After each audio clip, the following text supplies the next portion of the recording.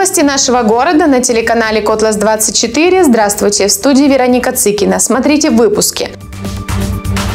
В городском парке людей атакуют вороны. Экология в руках депутатов. Почти 2 миллиона рублей жительница Котловского района отдала мошенникам. Два дня в Котласе работал Координационный совет представительных органов муниципальных образований Архангельской области при Архангельском областном собрании депутатов. Подробности у Аллы Лайковой. Несколько десятков спикеров Дум, собраний и депутатских советов области приехали в наш город, а еще председатель общественной палаты и сенатор Российской Федерации от Архангельской области. Котлас для проведения масштабного координационного совета представительных органов муниципальных образований был выбран не случайно. Мы в числе передовиков реализации молодежной политики в развитии спортивной инфраструктуры и работе общественного совета. Именно эти три направления стали темами обсуждения. Задача координационного совета это изучение опыта других муниципалитетов, практики реализации, в том числе вот, в частности молодежной политики или по развитию спортивной инфраструктуры. Поэтому мы выбрали Котлас и Коряжму. Мы были здесь, в этих муниципалитетах осенью прошлого года с нашим комитетом, посмотрели и посчитали важным познакомиться с этим опытом и других председателей представительных органов муниципалитетов. Одно из учреждений, в котором побывали участники Совета, молодежный центр. Его директор Анна Пушкина рассказала о положительном опыте по привлечению внебюджетных средств через проектную деятельность, о трудоустройстве молодежи, о работе с подростками, в том числе и теми, кого называют трудными, и провела экскурсию по Дому молодежи. Я вижу, как живой интерес э, возникает у многих представителей районов, потому что э, так получается, что город Котлас является лидером в реализации молодежной политики. Вы слышали, что у нас 8 площадок на территории города и поселка Вычегодский, и вот такой молодежный центр в таком состоянии, вот где мы с вами находимся, он единственный в Архангельской области. Реализацию программы «Комфортное Поморье» тоже обсудили участники Координационного совета. Один из масштабных котловских проектов, который будет реализован в этом году – благоустройство территории у Центра дополнительного образования. Проект получил серьезную финансовую поддержку к 120-летию адмирала флота Николая Кузнецова. Скоро горожане увидят готовый результат, а депутатам больше интересна изнанка проекта от идеи до составления документации. И этот опыт, который они э, ну, приобретают в этих разговорах, обсуждениях тех или иных проектов, программ, нормативно-правовых актов, конечно, они приводят с собой, да, уже в виде, оп, в виде знаний, умений, с тем, чтобы это у себя уже на территории это все применять. Вот это следующая как бы, да, задача таких координационных советов. Ну а наша 105-я школа сегодня является не только местом для учебы юных горожан, но и центром притяжения высокопоставленных гостей. Суперсовременное и оснащенное по последнему слову учебное заведение даст фору и некоторым столичным. Участники координационного совета пришли в восторг от возможностей школы. Здесь мы, конечно, все под впечатлением такого масштаба, такого объема и такой красивой картинки и такого качества. Но это уровень Москвы, Казани. Для нас это, это впечатляет, правда. Спасибо большое. Гости города были удивлены, что пришкольный стадион могут посещать не только ученики, но и все желающие. И таким образом Котлас решает еще одну глобальную задачу – вовлеченности горожан в спорт. Даже областные депутаты не смогли устоять и вместе с мальчишками сыграли в футбол. Котлас, на мой взгляд, э, очень э, сильно продвинулся с точки зрения развития спортивной инфраструктуры именно при образовательных учреждениях. Он был одним из первых участников многих федеральных проектов в этой части, там числе 18 школа, например.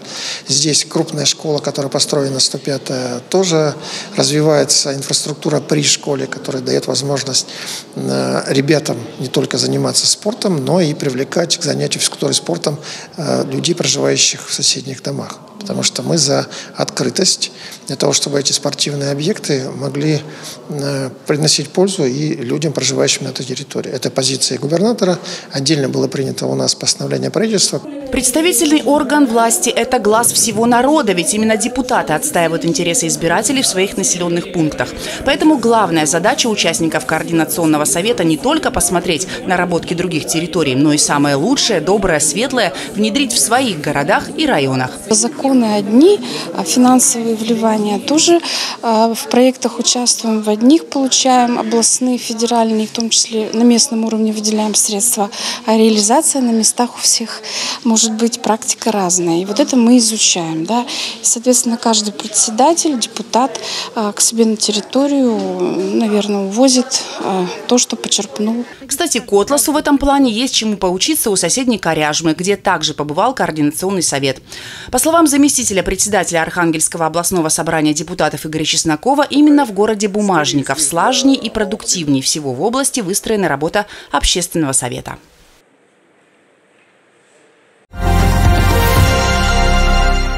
Вороны атакуют. Будьте бдительны и осторожны. В городском парке уже несколько горожан пострадали от нападения этих птиц. На протяжении двух недель в городском парке вороны нападают на людей и их питомцев. Только за последние три дня вороны напали на трех девушек и собаку. Как рассказывает одна из пострадавших, в один из дней она спокойно шла по парку. Ничего не предвещало беды.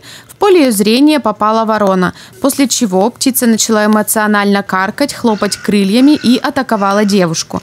Клювом пробила ей затылок и попыталась сделать это повторно, но безуспешно. Пострадавшая накинула на голову куртку. Еще одна жертва нападения, пернатой разбойницы, получила сильный испуг.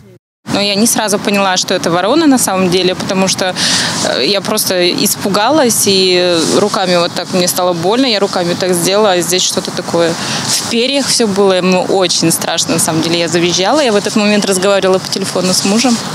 Я завизжала, у меня вообще от страха выпал телефон. Я потом стала убегать, она полетела за мной. Вот раза два-три так на меня приседала, и Потом я убежала, когда подняла все вещи. Ну вот сейчас, если я птиц, например, вижу, мне страшно становится. С конца мая до начала июня у ворон гнездовой период, и они охраняют своих птенцов. Но не только это послужило такому агрессивному поведению. Где располагаются гнезда, бывают случаи, когда птенцы могут выпасть из гнезда, или просто человек или кто-нибудь будет находиться рядом с гнездом. В это время птицы могут охранять свое гнездо и потомство, и, соответственно, идти себя агрессивно. То есть планировать на людей, пугать людей. Специалисты рекомендуют быть осторожнее в такой период, больше обращать внимание на поведение ворон, чтобы уберечься от испуга и нападения, а также объяснять детям, что не стоит разорять гнезда птиц. 35 лет без глобальной модернизации. Котловские очистные сооружения давно требуют внедрения современных технологий. И это диктует не только время, но и новые требования и нормативы. Впервые у Котласа есть уникальная возможность войти в федеральный проект, согласно указу президента Российской Федерации о национальных целях развития Российской Федерации. Одни из которых комфортная и безопасная среда для жизни и экологическое благополучие на период до 2030 2030 года. В Архангельской области активно готовится подключиться к этому проекту. Из областного бюджета уже выделен 161 миллион рублей на разработку проектно-сметной документации. Четверть этих средств планировалось использовать для разработки ПСД-реконструкции очистных сооружений в Котласе. В декабре прошлого года КОСам исполнилось 35 лет. Построенные по старым технологиям сооружения очистных начали разрушаться. Со временем поменялось, по словам технолога КОСа, и качество воды на входе. Оно стало в разы хуже. Увеличились фосфаты, азотная группа. И наши очистные не могут очистить до той нормы, которая необходима э, для сброса водоем. Из-за того, что сейчас люди стали больше пользоваться э, моющими средствами новыми, э, в стиральных машинах, посудомоечные машины, и из-за этого фосфаты увеличились раза в 3-4 по сравнению с тем, что было в 2000-х годах, даже в начале 2000-х годов. А нормы, наоборот, ужесточились для сброса. На сегодня вода проходит два этапа очистки – биологическую и механическую. Но чтобы привести воду в соответствие с нормативами, необходима еще и химическая обработка для удаления фосфатов. Такая очистка предполагает еще и процесс доочистки и фильтрации. В любом случае нужно что-то делать с модернизацией. Э, разрушение бетона, разрушение труб, которые находятся у нас под землей. Мы даже не знаем, в каком они состоянии. 35 лет эксплуатации э, – не маленький срок. Лодочная станция «Чайка» находится в непосредственной близи с очистными. Это давно излюбленное место летнего отдыха горожан и рыбаков. Однако купаться и ловить рыбу здесь небезопасно. И все по той же причине – вода на выходе не дотягивает до нормативов. Несоответствие – это прежде всего десятки миллионов рублей платы за негативное воздействие на окружающую среду. И это полностью ложится на плечи горводоканала. Ситуация для МУПа не новая. Ситуация была простая. То есть э, до определенного момента предприятие жило как жило, да, то есть, э, если не ошибаюсь, там Борис Николаевич Вьюхин там, с 96 -го года руководил предприятием, да, шло время, менялись законы, да, менялись, менялись подходы. В один прекрасный момент э, несоблюдение закона об окружающей, закона об окружающей среде э, и изменившихся требований привело к тому, что в 2013 э, в 12 году, прошу прощения, в 2012 году предприятию за прошедший период, за три года, в соответствии с изменившимися требованиями, было доначислено сумма в районе 17 или 18 миллионов рублей материала. Я вам покажу. Плата за негативное воздействие. Итогом этого стало увольнение директора Вьюхина Бориса Николаевича и банкротство, первое банкротство предприятия, а, которое произошло а, в 2014 году. Далее на предприятие был введен конкурсный управляющий. По словам Евгения Чечерина, его основная цель была только отбить деньги. При этом в этот период резко упало качество оказания услуг и воды. После этого пришел новый директор, и ситуация повторилась. А проходит время, заступает, э, соответственно, новый директор, да, но вот эти, скажем так, последствия а, менеджмента первоначального директора, который долго правил, то есть сказываются в том числе и за этот период, и предприятие в 2017 году, за период в 2017 году получает штраф уже за ущерб окружающей среде. Это, опять же, несоответствие стоков, э, которые мы сбрасываем 42 миллиона рублей. Получается, при втором директоре Ерофеевском, да, условно говоря, предприятие упало банкротство второй раз. Разбираться с таким, мягко скажем, наследством приходится нынешнему руководству предприятия. И это колоссальные платежи за негативное воздействие. В среднем у нас в тариф в год включается миллион рублей, можно сказать условно, да, платы за негативное воздействие. Предприятие должно заплатить 16. То есть никто эти, эти, эти цифры не а, компенсирует и собственно говоря, это называется необходимо найти за счет собственных резервов.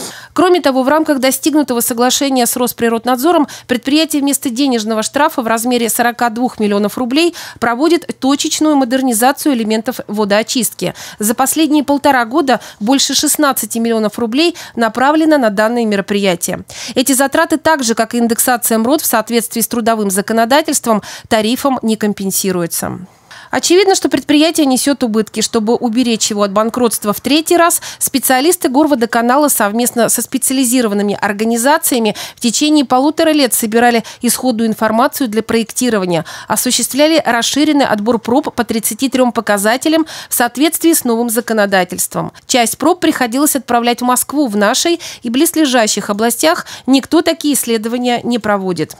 Проработали вопрос в том числе по техническому заданию, проработали вопрос с крупным, по нашему мнению, и крайне серьезным проектировщиком. Это Центральный проектный технологический институт госкорпорации «Росатом», да, которые заинтересовались данным проектом. Ну, люди строят атомные станции, проектируют, да, в том числе там есть системы водоочистки и обладают значительным еще запасом специалистов. Глобальная модернизация требует подготовки проектно-сметной документации документации. На ее создание нужны деньги. Это два источника. 2 миллиона рублей необходимо выделить из городской казны. Остальные деньги – софинансирование из областного бюджета, и это порядка 40 миллионов рублей.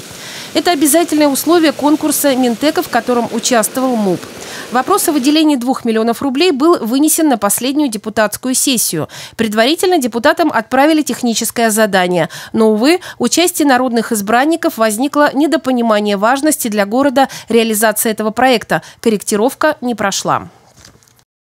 А, у города Котласа всего а, есть, условно говоря, четыре варианта, каким образом можем действовать. Да. Первый вариант – это закладывать эти проектно-изыскательские работы а, в тариф населению. Тогда только за счет самих работ будет прирост тарифа порядка 30%, что, естественно, для населения будет очень чувствительно.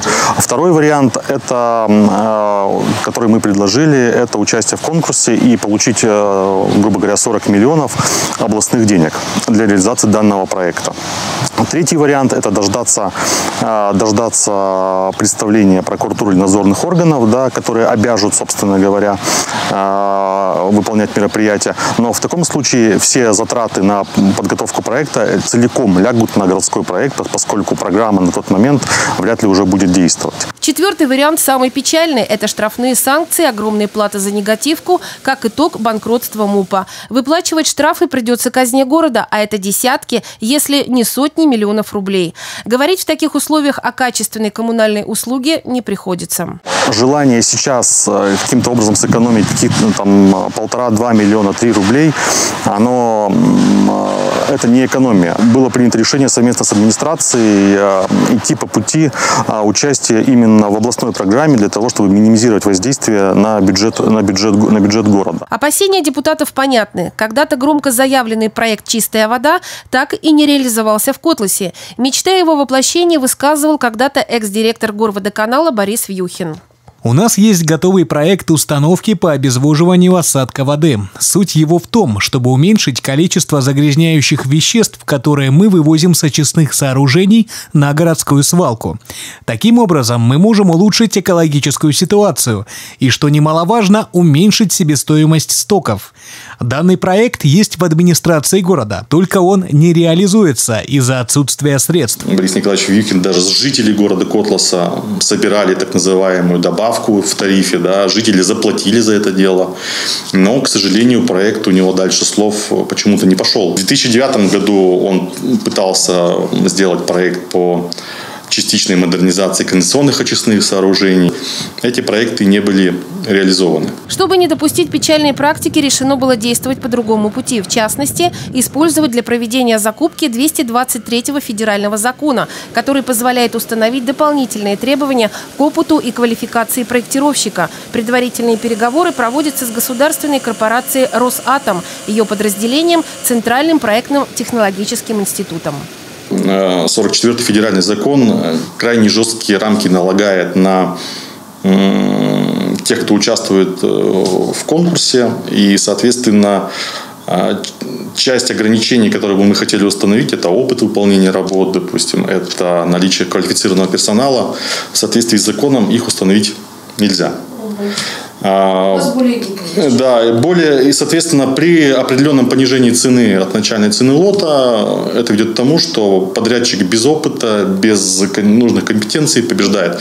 Этот пример сейчас все жители видят на примере чистой воды. Проект должен был завершиться в октябре того года, проектируют до сих пор. Если все сложится наилучшим образом, то у Котласа есть возможность войти в федеральный проект и привлечь для глобальной модернизации КОСов порядка 2,7 миллиардов рублей. Кстати, президент Российской Федерации издал указ о национальных целях развития Российской Федерации на период до 2030 года и на перспективу до 2036 года. Две из них – это комфортная и безопасная среда для жизни и экологическое благополучие. Этот же проект гораздо более сложный, без ложной там, скромности можно говорить, что это порядок сложнее, чем э, водочистные сооружения, поскольку здесь необходимо добиться таких параметров воды, сбрасываемой э, в соответствии с законодательством, что эта задача такая, ну, очень нетривиальная.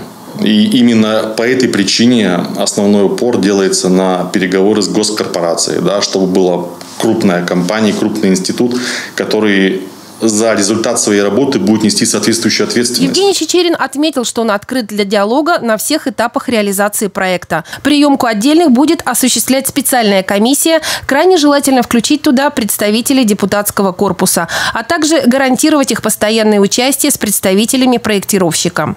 Кроме того, 2 миллиона рублей Горводоканал всегда гарантированно сможет вернуть в городской бюджет. Далее мы прервемся на небольшую рекламу, после которой продолжим. Не переключайтесь.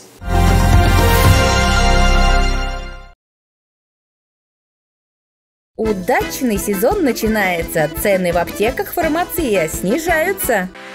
Воспользуйтесь возможностью сделать заказ прямо у экрана. Отсканируйте QR-код. Удобный повседневный рюкзак подойдет на все случаи жизни. В лагерь, на тренировку, в дорогу или на работу. Сканируйте, фотографируйте, переходите по ссылке и оформляйте заказ.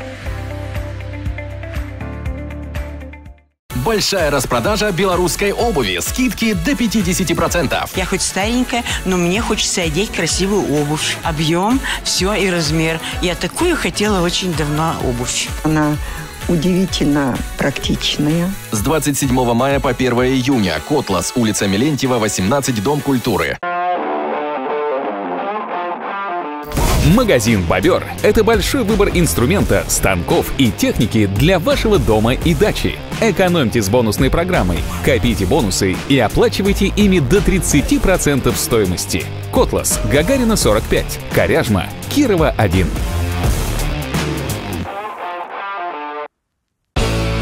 Квадроциклы CF Moto. Техника для настоящих путешественников. Широкий модельный ряд, универсальные характеристики и надежность в эксплуатации, подтвержденная множеством российских и международных экспедиций.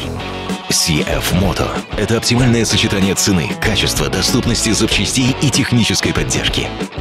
Весь модельный ряд техники CF Moto, а также широкий спектр дополнительного оборудования и аксессуаров у вашего официального дилера.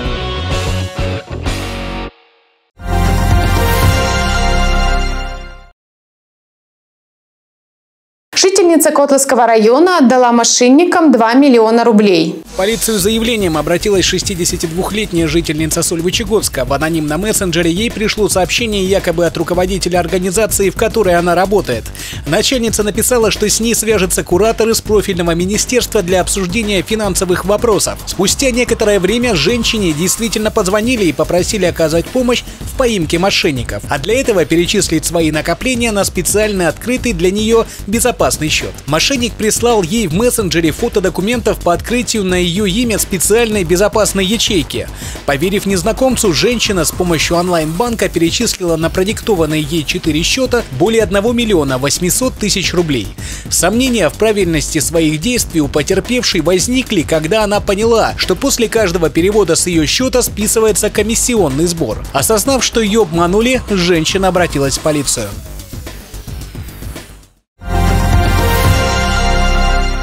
6 июня исполнится 220 лет со дня рождения Александра Сергеевича Пушкина.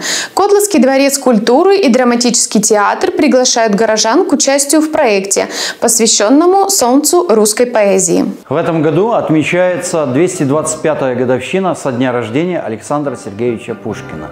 Мы хотим громко отпраздновать юбилей поэта, поэтому приглашаем вас, дорогие зрители – 6 июня на совместное мероприятие Котловского драматического театра и Котловского дворца культуры.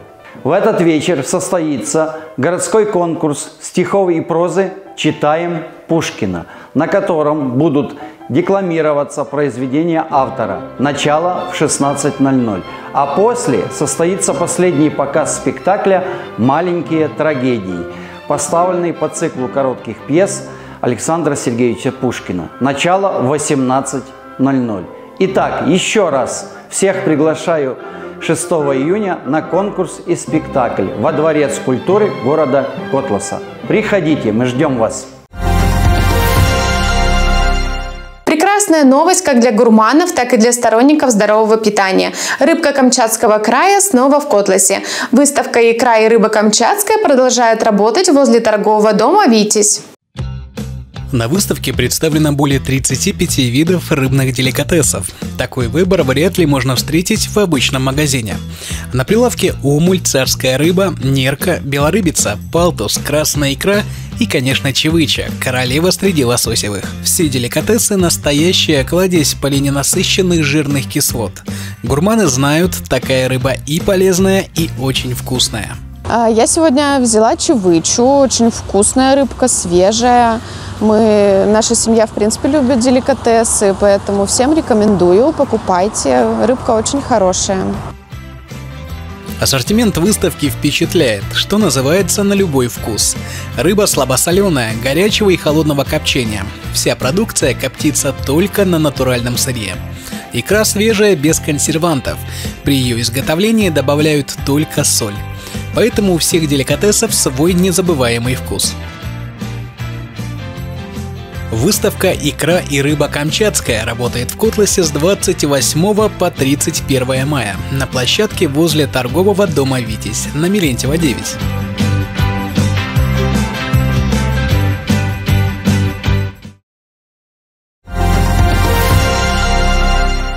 Лето не за горами. Самое время подумать о новой и удобной обуви. В Котловском дворце культуры открыта ярмарка белорусской обуви.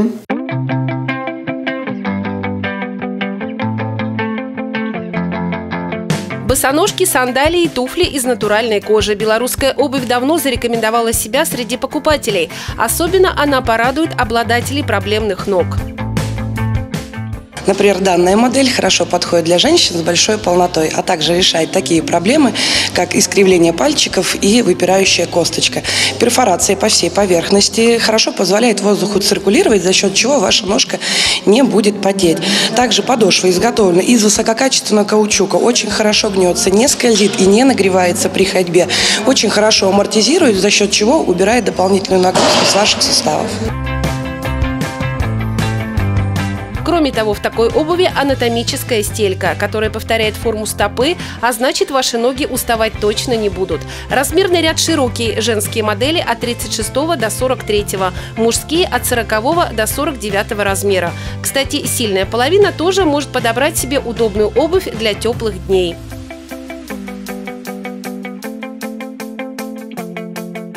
Наша мужская летняя обувь подходит для мужчин любого возраста. Есть зауженным носом, есть с широким. У мужчин основная проблема – это высокий подъем. Вот данная модель справится с этой проблемой. С одной стороны резинка, с другой липучка. Перфорация по всей площади позволяет ногам дышать и двухслойный полиуретан. Подошва не нагревается и не лопается. Мужчины будут довольны. Ярмарка «Белорусская обувь» работает с 27 мая по 1 июня с 9 до 18 часов в ДК города Котлас на Мелентьева, 18.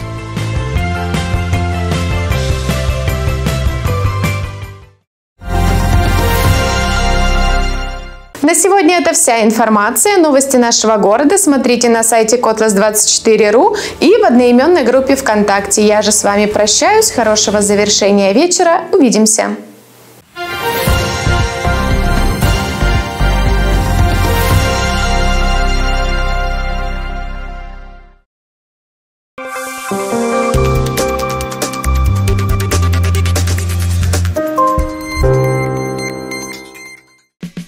Котлас. Встречай свежий улов прямо с Камчатки. Чавыча, красная икра, белорыбица. Все от производителя. С 28 по 31 мая. ТД «Витязь».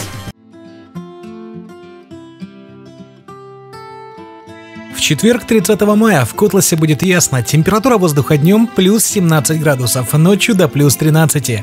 Ветер юго-восточный 3,7 метров в секунду. Атмосферное давление выше нормы. Автомобилю нужны запчасти? Сеть магазинов «Авторитет». Это более 20 тысяч наименований для иномарок и отечественных авто по выгодным ценам. В наличии и под заказ, и на все виды автомобилей. Автозапчасти «Авторитет». Детальный подход. Великий Устюг, Виноградова 44, Котлас, Маяковского 47.